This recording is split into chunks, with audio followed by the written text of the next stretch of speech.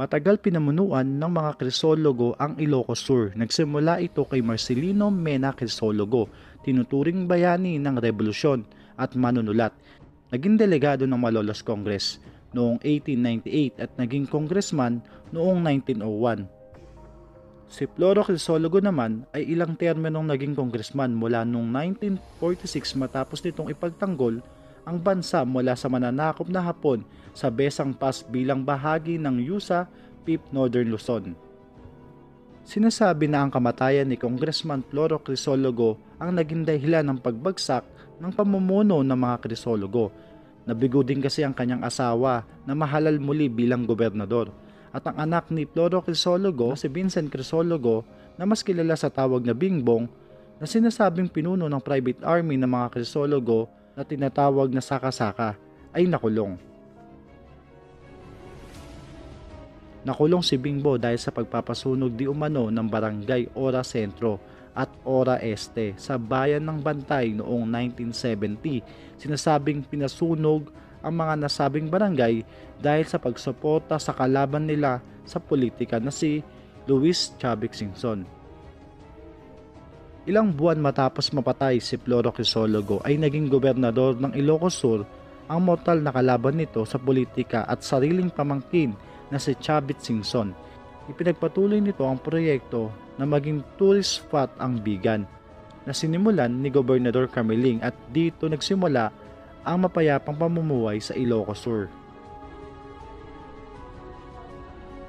Si Bingbong Crisologo naman ay nagbagong buhay, naging born again Christian sa kulungan at tinulungan ni Chavit para makalaya bago sumapit ang bagong taon noong 1981 Si Bingbong ay naging konsel at kongresista sa Quezon City at tumakbong mayor ngunit nabigo.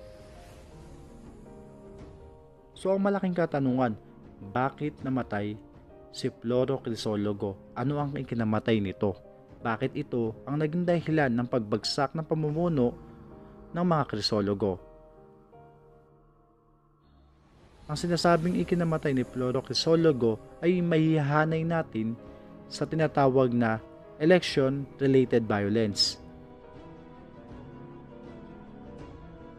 October 18, 1970, habang nakaluhod at mataintim na nagdarasal sa simbahan ng St. Paul Cathedral si Congressman Floro Singson Crisologo ay bigla na lamang itong binaril sa likod ng kanyang ulo. Para masigurado ay nilapitan pa ito ng isang lalaki at muling binaril at tumama sa bandang puso Daling-daling tumakas ang mga salarin patungo sa Plaza Burgos. Kung gaano kabilis ang pangyayari, ganun din kabilis nakatakas ang mga salarin.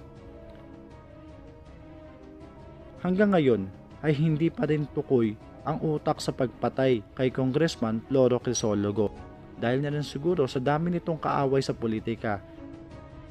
Marami ang nagsasabi na ang kamatayan daw ni Congressman Floro Crisologo ang naging dahilan ng pagbagsak ng pamumuno ng pamilya Crisologo sa lalawigan ng Ilocos Sur.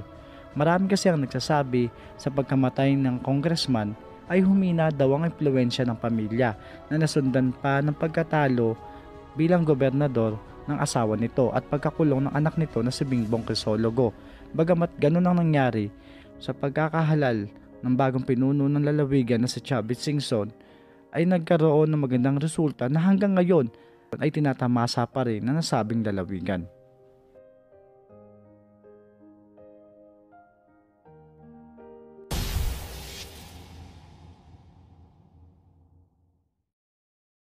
...1951, election year.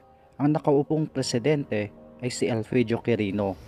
Ang pangunahing kapartido nito ay si Governor Rafael Lacson ng Negros Occidental. Si Governor Rafael Lacson ang tinuturing may hawak ng lalawigan ng Negros Occidental. Makapangyarihan, mayaman, at may private army. Sinasabing may maruming pamamalakad sa nasabing lalawigan. Ang mga mamamayan dito ay gusto ng pagbabago, ngunit walang gustong tumayo upang baguhin ito. Hanggang sa pagtindig ni Moises Padilla, siya lamang ang may lakas ng loob na kumalaban kay Governor Rafael Lacson. Si Moises Padilla ay isang dating gerilya na tubong magalyon. Kinalaban ni Moises Padilla ang partido ni Rafael Lacson at tumakbo ito noong halalan. Ngunit natalo. Bagamat natalo hindi pa rin pinapalagpas ni Lacson ang pagbangga ni Moises sa kanya. Alam ni Moises na hindi ito palalagpasin ni Governor Lacson.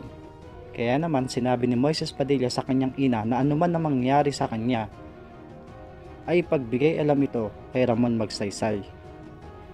Si Ramon Magsaysay ang kalihim ng tanggulang pambansa at kapartido ng Pangulong Elpidio Quirino at Governor Lacson. Bagamat kapartido ito ng masasabing kalaban ni Moises Padilla ay buo naman ang tiwala nito sa katapatan sa tungkulin ni Magsaysay.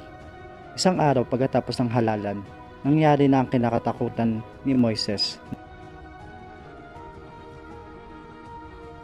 November 30, 1951, dinukot si Moises ng mga sinasabing tauhan ni Governor Lacson. Tatlong araw matapos ang pagdukot, natagpuan ng kalunos-lunos sa katawan ni Moises. Bakas dito ang pagpapahirap, tinatayang pinahirapan mo na ito bago tapusin. Nagpadala ng mensahe ang ina ni Moises kay Magsaysay.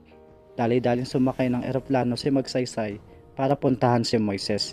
Kasama nito si Chino Roses at Ninoy Aquino ng Manila Times. Kasama din ang hukbong sandataan ng Pilipinas. Pagdating ng Negros, nagtanong-tanong sila sa kinaroroonan ni Moises ngunit walang may lakas ng loob na magturo dito hanggang mapadpad sila sa isang bahay at dito nga nila nakita ang duguang katawan ni Moises. Lumapit ito sa ina ni Moises at nagpakilala. Nang matanto ng ina ni Moises sa pagkakakilanlan ni Magsaysay ay lumuhod ito at sinabing, My son is dead.